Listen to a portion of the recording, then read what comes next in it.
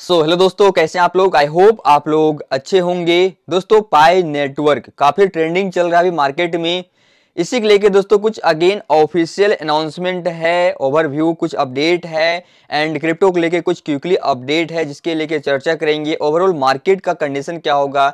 So all about video काफ़ी helpful होने वाला है। सो अगर आप लोग को वीडियो जरा सा भी हेल्पफुल लगे तो प्लीज़ अपनी तरफ़ से लाइक कमेंट शेयर ज़रूर कीजिएगा। तो चलिए दोस्तों वीडियो को हम शुरू करते हैं। देखिए दोस्तों, यहाँ पे फ़र्स्ट अगर हम सबसे पहले न्यूज़ के बारे में जान लेते हैं तो बाइनेंस की तरफ़ से एक न्यूज़ हमें देखने मिल रहा है कि Binance to acquire Korean top crypto exchange Gopax मतलब दोस्तों बाइनेंस कोरिया के टॉप क्रिप्टो एक्सचेंज को एक्वायर कर लिया मतलब खरीद लिया है, जो कि काफ़ी पॉजिटिव न्यूज़ है बाइनेंस के लिए और बीएनबी टोकन के लिए बीएनबी चैन के लिए ओके एंड अगर हम बात करें दोस्तों, यहाँ पे एक और अपडेट का तो एक अपडेट के हिसाब से अभी हमें मतलब एक न्यूज़ देखने मिल रहा है कुछ क्रिप्टो अपडेट के लेके इसी की मतलब इस महीने काफ़ी सारे इवेंट होना है एफ़ और सीपीआई डेटा के लेके। तो वहाँ पे कुछ डेटा है जो कि आपको साथ शेयर कर दूँ। जैसे कि हम बात करेंगे, आपका मतलब 8 जनवरी को डीसीजी वर्सेस जी एक मीटिंग होना, बैठक होना है। 12 जनवरी को इंडिया सीपीआई डेटा का मतलब लाइक मीटिंग होना है मतलब रिज़ल्ट आना है। एंड 12 जनवरी को यूएसए का भी सीपीआई डेटा का रिज़ल्ट आना है। एंड फ़र्स्ट फरवरी को एफओएमसी मीटिंग है तो इस तरह से काफ़ी कुछ अपडेट है, जिसमें कि आपको अलर्ट रहना है इस मार्केट में। एंड साथ के साथ दोस्तों बात करेंगे पाई नेटवर्क को लेके। पाई नेटवर्क अभी सबसे ज़्यादा जो सर्चेबल है पाँच कंट्री में Vietnam India Nigeria Indonesia USA and other country okay जो कि काफ़ी अच्छा है। एंड अगर हम दोस्तों पाई नेटवर्क के लिए कुछ रिसेंट अपडेट के बात करेंगे तो फ़िलहाल पाई नेटवर्क की तरफ़ से मतलब उसका माइनिंग रेशियो आप चेक कर सकते हैं। मतलब इसके होम पेज पे जाके क्या है आपका mining daily mining ratio all about second चीज़ दोस्तों अगेन इसके तरफ़ से एक अपडेट हमें देखने को मिल रहा है end of year tech update जिसमें दोस्तों अगेन एक नया अपडेट देखने मिल रहा है कि जो फोकस हो रहा है पाई के के लेके, जो कि आपका विद इन वन से टू वीक के अंदर ये कंप्लीट हो जाएगा। मतलब इस मंथ के अंदर आपका पाई के लेके जो भी समस्या था कंप्लीट हो जाएगा।